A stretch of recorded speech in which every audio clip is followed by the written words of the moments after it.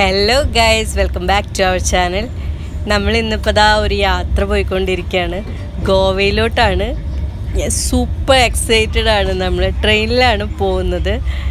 ഞങ്ങൾ പോയത് കൊച്ചിയിൽ നിന്ന് മുംബൈയിലോട്ട് പോകുന്ന ലോക്മാന്യത്തിലെ ഡുറോണ്ടോ എക്സ്പ്രസ്സിലാണ് അതാണ് ഏറ്റവും ഫാസ്റ്റസ്റ്റ് ആയിട്ടുള്ള ട്രെയിൻ കൊച്ചിയിൽ നിന്ന് മുംബൈയിലോട്ട് പോകുന്നത് നമ്മൾ രാത്രി കയറി കഴിഞ്ഞാൽ രാവിലെ ആകുമ്പോഴേക്കും അവിടെ എത്തും.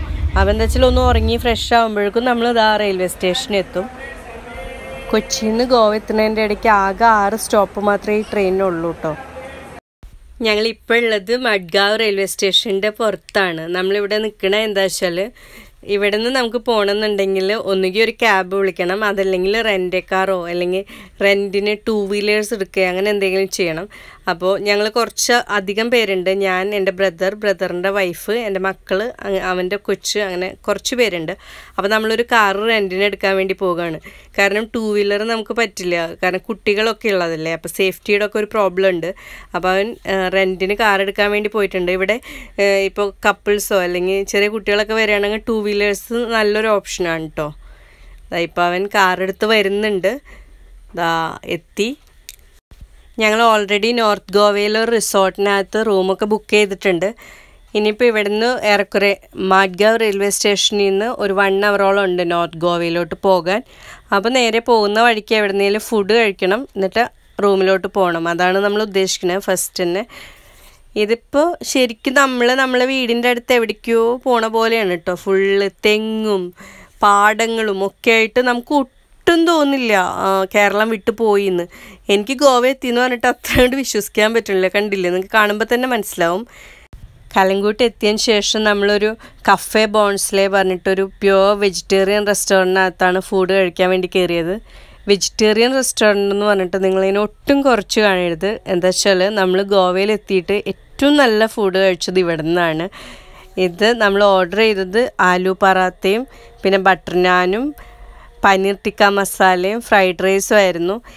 എല്ലാ ഫുഡും ഒന്നിനൊന്ന് മെച്ചമായിരുന്നു നല്ല സർവീസും നല്ല നീറ്റുമായിട്ടുള്ള റെസ്റ്റോറന്റാണ് നമ്മൾ കഴിച്ചിട്ട് ഇവിടുന്ന് ഇറങ്ങുകയാണ് ഇനി നേരെ റൂമിലോട്ട് ചെല്ലുക ഒന്ന് ഫ്രഷ് ആയതിന് ശേഷം വേണം പുറത്തേക്കൊക്കെ ഒന്ന് ഇറങ്ങാൻ.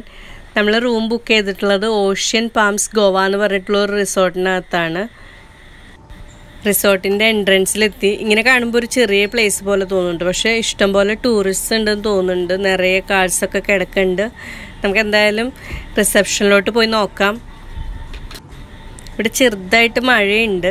എൻട്രൻസിലോട്ട് കയറി ചെല്ലുമ്പോൾ തന്നെ കുറച്ച് മഞ്ഞ കുടകളൊക്കെ ഇരിക്കണുണ്ടോ റെയിൽവേ സ്റ്റേഷനിൽ നിന്ന് ഇറങ്ങുമ്പോൾ തന്നെ ഒരു ആന്റിജൻ ടെസ്റ്റ് നടത്തുന്നുണ്ട്. പി സി ആർ എടുത്ത് വരുന്ന ആളുകൾക്കാണെങ്കിൽ അത് വേണ്ട. ഞാനത് പറയാൻ വിട്ടുപോയതാണ് ഇപ്പം നമ്മൾ ഹോട്ടലിൽ ചെക്ക് ഇൻ ചെയ്യുമ്പോഴും ചില ഹോട്ടൽസിൽ പി സി ആർ ചോദിക്കുന്നുണ്ട്. എല്ലായിടത്തും ഇല്ല. ഇനിയിപ്പോൾ നമ്മൾ റൂമിലോട്ട് പോവുകയാണ്. ആ ഫസ്റ്റ് തന്നെ നമ്മൾ കാണുന്നത് ഒരു നല്ല ഭംഗിയുള്ള സ്വിമ്മിംഗ് പൂളാണ് നല്ല നീറ്റായിട്ടിരിക്കുന്നുണ്ട് അല്ലേ? ഇനിയിപ്പോൾ നമ്മളിവിടുന്ന് നേരെ റൂമിലോട്ട് ചെല്ലാണ് കേട്ടോ ഇതാണ് റൂം ഒരു കിങ് സൈസ് ബെഡുണ്ട് പിന്നെ ടി വി അത്യാവശ്യം ചായയൊക്കെ ഇടണമെന്നുണ്ടെങ്കിൽ ഒരു കെറ്റിലും മഗ്ഗും പിന്നെ ടീ ബാഗും എല്ലാം ഉണ്ട്. ഒരു മിററ് പിന്നെ ഒരു ബാൽക്കണി ഉണ്ട്. അതുകൊണ്ടാണ് ചുമ്മാ ഇരിക്കാനൊക്കെ ഉള്ള സൗകര്യമുണ്ട്.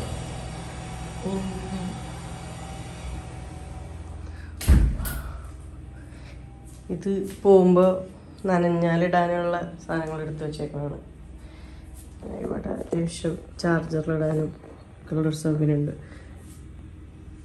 പിന്നെ നമുക്ക് ബാഗൊക്കെ വയ്ക്കാം ഒരു നല്ല റാക്കും അതിന്റെ ഒപ്പം അയൺ ടേബിളും അയൺ ബോക്സും ഉണ്ട്. പിന്നെ ഒരു ലോക്കർ ഉണ്ട് പിന്നെ ബാത്റൂം വന്ന് കയറിയപ്പോൾ തന്നെ കുട്ടികൾ റൂമൊക്കെ അലങ്കോലാക്കിയിട്ടോ ഇനിയിപ്പോൾ നമ്മൾ പുറത്തേക്കൊന്ന് ഇറങ്ങുകയാണ് നമ്മൾ താമസിക്കുന്ന റിസോർട്ടിന്റെ ഏറ്റവും അടുത്തുള്ള ഒരു ബീച്ചാണ് കേട്ടോ ഇത്. കലങ്കൂട്ട് ബീച്ച്. ഫസ്റ്റ് ഇംപ്രഷൻ തന്നെ അടിപൊളിയല്ലേ? കാണാൻ നല്ല ഭംഗിയുള്ള ബീച്ചാണ് കേട്ടോ നമ്മൾ വരുമ്പോൾ തന്നെ എന്താ വെച്ചാൽ നമ്മുടെ ലെഫ്റ്റ് സൈഡിൽ കുറേ ഷോപ്സ് ഉണ്ട്. നിറയെ ഡ്രസ്സുകളൊക്കെയുള്ള ഷോപ്സ് ഉണ്ട്. പിന്നെ ടാറ്റു സെന്റേഴ്സൊക്കെ ഉണ്ട്. റൈറ്റ് സൈഡിലാണെന്നുണ്ടെങ്കിൽ കുറച്ച് ബാറുകൾ റെസ്റ്റോറന്റ്സ് ഒക്കെ ഉണ്ട്. ഞങ്ങൾ ഗോവയിൽ വരാൻ തീരുമാനിച്ചപ്പോൾ തന്നെ ഫസ്റ്റ് ചെയ്ത് ഇവിടുത്തെ ക്ലൈമറ്റ് ചെക്ക് ചെയ്തു. കുറേ എന്താ പറയുക ക്ലൈമറ്റിന്റെ കുറച്ച് വീഡിയോസ് അതും ഡെയിലി ക്ലൈമറ്റിന്റെ ഒക്കെ കണ്ടിരുന്നു. അപ്പോൾ ഇവിടെ നല്ല പെരുമഴയാണെന്നാണ് കണ്ടത്. അപ്പോൾ നമ്മൾ വരണ്ടാന്ന് തീരുമാനിച്ചു. പക്ഷെ ഇവിടെ വന്നപ്പോൾ ഉണ്ടല്ലോ ചെറുതായിട്ട് ചാറ്റൽ മഴയുണ്ട്. പക്ഷെ അത്രയ്ക്ക് മഴ എന്നൊന്നും പറയാനില്ല? ഇവിടെ വന്ന് നമ്മൾ ചോദിച്ചു കഴിഞ്ഞപ്പോൾ ഇവിടെ കാര്യമായിട്ട് മഴയൊന്നും ഇല്ല എന്നാണ് അവർ പറഞ്ഞത്. നമുക്ക് എന്തായാലും നോക്കാം പോകെ പോകെ എങ്ങനെയാണെന്നുള്ളത്.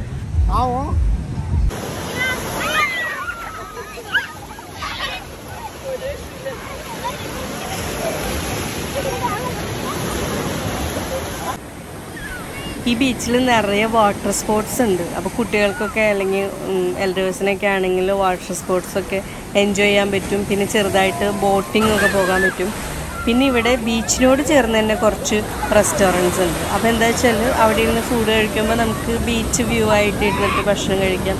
നല്ലൊരു വൈബാണ് ട്രെയിനിലും കാറിലൊക്കെ ട്രാവൽ ചെയ്ത് ശരിക്കും ടയേർഡാണ് എല്ലാവരും. അപ്പം നമ്മൾ ഇവിടെ ഒത്തിരി ടൈമൊന്നും സ്പെൻഡ് ചെയ്യണില്ല. നേരെ റിസോർട്ടിലോട്ട് പോകുകയാണ്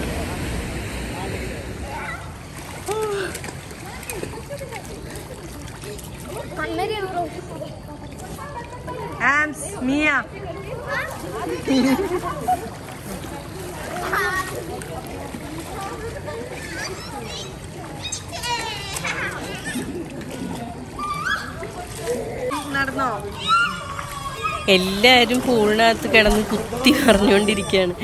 പൂളിൽ ഇറങ്ങണം എന്നുണ്ടെങ്കിൽ സ്വിമ്മിങ് സൂട്ട് വേണമെന്നൊന്നുമില്ല. ഇപ്പൊ നമ്മൾ എല്ലാവരും ആ ഡ്രസ്സൊന്നും ഇടണമെന്നില്ലല്ലോ. പക്ഷെ പോളിസ്റ്റർ ഡ്രസ്സ് ആയിരിക്കണം യൂസ് ചെയ്യേണ്ടത്. കാരണം വെള്ളം അങ്ങ് പിടിക്കാത്ത ഡ്രസ്സുകളായിരിക്കണം യൂസ് ചെയ്യണം അത്ര മാത്രമേ ഉള്ളൂ. ഗോവയിൽ എവിടെ നോക്കിക്കഴിഞ്ഞാലും ഈ ഒരു പെയിന്റിങ് ഒരുവിധം എല്ലാ റെസ്റ്റോറന്റ്സിലും ബാറുകളിലും എല്ലാം ഈ ഒരു പെയിന്റിങ് ഉണ്ടായിരിക്കും. ഈ റിസോർട്ടിന്റെ ഒരു ഏറ്റവും വലിയൊരു ഹൈലൈറ്റ് എന്ന് പറയുന്ന ഒരു ലെഷർ ഒക്കെ സ്പെൻഡ് ചെയ്യാൻ പറ്റിയിട്ടുള്ള ഈ ഒരു പ്ലേസാണ് കുറേ ഗെയിംസ് ഒക്കെ ആയിട്ട് കുട്ടികൾക്കൊക്കെ ശരിക്കും എൻജോയ് ചെയ്യാൻ പറ്റും. കുട്ടികൾ മാത്രമല്ല നമ്മളിവിടെ എത്തുമ്പോൾ നമ്മളും കുട്ടികളെ പോലെ ആവുമല്ലോ. എല്ലാവർക്കും അടിച്ചു പൊളിക്കാൻ പറ്റിയൊരു സ്ഥലമാണ് കേട്ടോ പിന്നെ കുറേ സമയം ഫാമിലിയിലായിട്ട് സ്പെൻഡ് ചെയ്യാൻ പറ്റിയിട്ടുള്ള ഒരു പ്ലേസും കൂടിയാണിത്. എല്ലാവരും ഒരു എൻജോയ് ചെയ്യുന്ന ഒരു മൂഡിലായിരിക്കുമല്ലോ പിന്നെ ഇവിടെ കുറേ ബുക്സ് ഉണ്ട്. ഇപ്പോൾ വായിക്കുന്ന ആൾക്കാരാണെങ്കിൽ സമാധാനമായിട്ട് ബുക്സ് എടുത്ത് ഒരു സൈഡിൽ പോയിരുന്ന് വായിക്കാം. അങ്ങനെയൊക്കെയുള്ള കുറേ സൗകര്യങ്ങളുണ്ട് കേട്ടോ ഇവിടെ. പിന്നെ സ്പായും മസാജിങ് സെന്ററും ഒക്കെ ഉണ്ട്. അതൊക്കെ ശരിക്കും യൂട്ടിലൈസ് ചെയ്യാവുന്നതാണ് കേട്ടോ ഇവിടുന്ന്. പിന്നെ ഇവിടെ ഉള്ളത് ഒരു ബാറാണ് ബാർ എന്ന് പറഞ്ഞു ഇവിടെ അത്യാവശ്യം ഒരു ഫുഡും സെർവ് ചെയ്യും. ഈ മദ്യപിക്കുന്ന ആൾക്കാർക്ക്. പക്ഷെ നല്ലൊരു ആംബിയൻസ് ഉള്ള ഒരു സ്ഥലമാണ് കേട്ടോ അത്. നല്ലൊരു ഭംഗിയുള്ള ഒരു ബാർ കൗണ്ടറൊക്കെ ഉണ്ട്. മദ്യപിക്കുന്ന ആൾക്കാർക്ക് അതും എൻജോയ് ചെയ്യാവുന്നതാണ്. നമ്മുടെ റൂമിലോട്ടുള്ള ഒരു വഴിയാണിത്. ഫുള്ള് ചെടികളൊക്കെ ആയിട്ട് നല്ല ഭംഗിയാണ് കേട്ടോ ഇവിടെ കാണാൻ. ഇങ്ങനെ നിറയെ ഷ്രബ്സും ഒക്കെ ആയിട്ടുള്ള ഒരു വേ ആണ് റൂമിലോട്ടുള്ള സ്റ്റെപ്പാണ് കാണുന്നത് ഇനിയിപ്പോൾ ഇവിടുന്ന് നമ്മൾ ഡിന്നർ കഴിക്കാൻ പോവാണ് കേട്ടോ നവരത്ന എന്ന് പറഞ്ഞിട്ടുള്ള ഒരു റെസ്റ്റോറന്റിലാണ് നമ്മൾ വന്നിട്ടുള്ളത്. നോർത്ത് ഗോവയിലെ എല്ലാ ഒരു ചെറിയ ജംഗ്ഷനിലും ഈ ഒരു റെസ്റ്റോറന്റ് ഉണ്ട്. കാണുമ്പോൾ നല്ല ക്രൗഡഡ് ഒക്കെ ആയിട്ടുള്ള റെസ്റ്റോറന്റ് ആണ് നമ്മൾ ഇവിടെ കയറിയത് പക്ഷേ വളരെ എന്താ പറയുക സങ്കടത്തോടെ പറയട്ടെ ഈ ഭക്ഷണം അത്ര ടേസ്റ്റി ഒന്നും ആയിരുന്നില്ല. കാണാനൊക്കെ നല്ല ഭംഗിയുണ്ട് പക്ഷേ കഴിക്കാൻ അത്ര പോരായിരുന്നു കേട്ടോ. ഒരിക്കലും റെക്കമെൻഡ് ചെയ്യില്ല. ഗോവയിൽ വന്നു കഴിഞ്ഞാൽ. നവരത്ന നിറയെ ഉണ്ട് പക്ഷെ ഭക്ഷണം കാണുമ്പോൾ നല്ല ഭംഗിയാണ്. കഴിക്കാൻ വലിയ കുറ്റം പറയരുതല്ലോ എന്നാലും പറയാണ്. അപ്പം ഇനി നമ്മളുടെ സെക്കൻഡ് ഡേ കാണാം. ഞങ്ങൾ ഇവിടുന്ന് ബ്രേക്ക്ഫാസ്റ്റ് കഴിച്ചിട്ട് നേരെ ചെക്ക് ഔട്ട് ചെയ്യും. കാരണം നമ്മൾ വൺ ഡേക്ക് വേണ്ടിയിട്ടാണ് റിസോർട്ട് ബുക്ക് ചെയ്തിരുന്നത്. കാരണം നമുക്ക് നെക്സ്റ്റ് അടുത്ത ഒരു റിസോർട്ടിനകത്ത് എക്സ്പ്ലോർ ചെയ്യാന്ന് വെച്ചിട്ടാണ്. ബുഫേ ആണ്. നല്ല റിച്ച് ആയിട്ടുള്ള ഒരു ബ്രേക്ക്ഫാസ്റ്റ് ആണ് കേട്ടോ ഞങ്ങളിവിടെ രണ്ട് റൂം എടുത്തിട്ടുണ്ടായിരുന്നു. ഒരു റൂമിന്റെ റെന്റ് വന്നിട്ട് പതിനായിരത്തി മുന്നൂറ് രൂപയാണ്. പക്ഷെ നമ്മൾ നേരത്തെ തന്നെ ബുക്കിംഗ് സൈറ്റ്സിലൂടെ ബുക്ക് ചെയ്ത് വരികയാണെന്നുണ്ടെങ്കിൽ നല്ല ഓഫേഴ്സ് ഉണ്ടായിരിക്കും കേട്ടോ അപ്പോൾ ഗൈസ് നമ്മൾ റൂം ചെക്കൗട്ട് ചെയ്ത് പുറത്തേക്ക് ഇറങ്ങി. നമ്മൾ ഇന്നലെ താമസിച്ചിരുന്നത് കലങ്കൂട്ട് ബീച്ചിനടുത്തുള്ള ഒരു റിസോർട്ടിലായിരുന്നു ഇന്നലെ നമ്മൾ പോയത് കലങ്കൂട്ട് ബീച്ചിലാണ് ഇനിയിപ്പോ നമ്മൾ പോയിക്കൊണ്ടിരിക്കുന്നത് ബാഗ ബീച്ചിലോട്ടാണ് നിങ്ങൾ ഇവിടുത്തെ വീടുകൾ കണ്ടു? ഞാൻ വരുമ്പോഴും കാണിച്ചു തന്നിരുന്നില്ലേ? ഫുള്ള് മലയാളീസിന്റെ ഒരു ടൈപ്പ് സാധനങ്ങളാണ് എല്ലാം വീടുകളും എല്ലാം. ഇവിടെ എത്തുമ്പോൾ മനസ്സിലാവും നമ്മുടെ പഴയ തറവാട് വീടുകളൊക്കെ പോലുള്ള വീടുകളാണ് ഇവിടെ കൂടുതലുള്ളത്. പിന്നെ ഗോവയിൽ വരുന്ന ആളുകൾക്കുള്ള ഒരു ടിപ്പ് ഉണ്ട്. ഇവിടെ വരുമ്പോൾ നമ്മൾ വരുമ്പോൾ യൂസ് ചെയ്യാനുള്ള ട്രാവൽ ഡ്രസ്സ് എന്തെങ്കിലുമൊക്കെ കയ്യിൽ കരുതിയിട്ട് വരിക ഇന്നർ വെയേഴ്സും ബാക്കിയൊക്കെ ഇവിടെ നല്ല ഡ്രസ്സുകൾ വളരെ ചീപ്പായിട്ട് നമുക്ക് കിട്ടും. നൂറ് നൂറ്റമ്പത് രൂപയൊക്കെ ഡ്രസ്സുകൾക്ക്. അപ്പോൾ എന്താ വെച്ചാൽ നമ്മൾ ഒരുപാട് ലഗേജ് ഒക്കെ കെട്ടിച്ചൊന്ന് കൊണ്ടുവന്നിട്ട് ഇവിടെ വരുമ്പോൾ നമ്മൾ ഭയങ്കര ഔട്ട് ഓഫ് ആയിട്ട് തോന്നും. ഇവിടുത്തെ ഒരു ട്രെൻഡ് വേറെയാണ്. അപ്പോൾ നമ്മളെപ്പോഴും മാക്സിമം ഇവിടെ വന്ന് ഡ്രസ്സുകൾ പർച്ചേസ് ചെയ്ത് യൂസ് ചെയ്യാൻ ശ്രമിക്കുക. അതാണ് കുറച്ചുകൂടെ നല്ലതെന്ന് എനിക്ക് തോന്നുന്നു.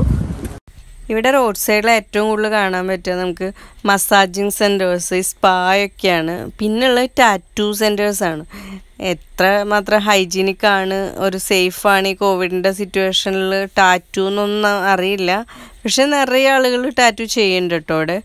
പിന്നുള്ളത് മദ്യ ഷോപ്പുകളാണ്. അതെല്ലാ കോർണറിലും ഉണ്ട്. പ്രത്യേകിച്ച് റെസ്ട്രിക്ഷൻസ് ഒന്നുമില്ല. എല്ലാവരും ഇങ്ങനെ പബ്ലിക്കായിട്ട് തന്നെ മദ്യപിച്ചൊക്കെ നടക്കുന്നുണ്ടായിരിക്കും. ഇത് കണ്ടില്ലേ? നൂറ് രൂപയുടെ കണ്ണട വെച്ച് എല്ലാവരും സെൽഫി എടുക്കുന്നത് ഞങ്ങളും എടുക്കും. എന്ന് വെച്ചാൽ ഇവിടെ ഫുള്ള് കളർഫുള്ളായിട്ടുള്ള സ്പെക്സും അങ്ങനെയൊക്കെ തന്നെയാണ് എല്ലാവരും ഡ്രസ്സുകളും കളർഫുള്ളൊക്കെ ആയിട്ട് തന്നെയാണ്.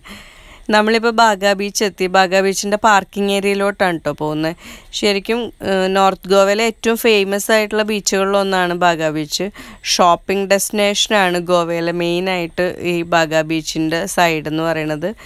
അപ്പോൾ ഗോവയിൽ വരുമ്പോൾ ബാഗ ബീച്ചിൽ കൂടുതൽ സ്പെൻഡ് ചെയ്യാൻ ശ്രമിക്കുക കാരണം വെച്ചാൽ ഷോപ്പിങ്ങിന് ഏറ്റവും നല്ലത് ബാഗ ബീച്ചാണ്. നമ്മൾ കാറ് പാർക്ക് ചെയ്തിട്ട് നേരെ ബീച്ചിലോട്ട് പോകുക കേട്ടോ ഇനി.